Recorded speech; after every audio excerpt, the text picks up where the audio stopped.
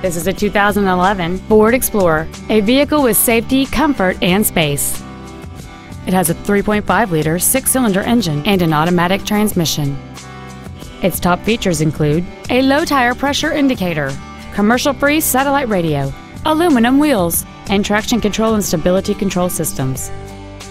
The following features are also included a power driver's seat, air conditioning with vents for rear seat passengers, cruise control, a leather wrapped steering wheel, a rear spoiler, an illuminated driver's side vanity mirror, an engine immobilizer theft deterrent system, a passenger side airbag, heated side view mirrors, and this vehicle has fewer than 16,000 miles on the odometer.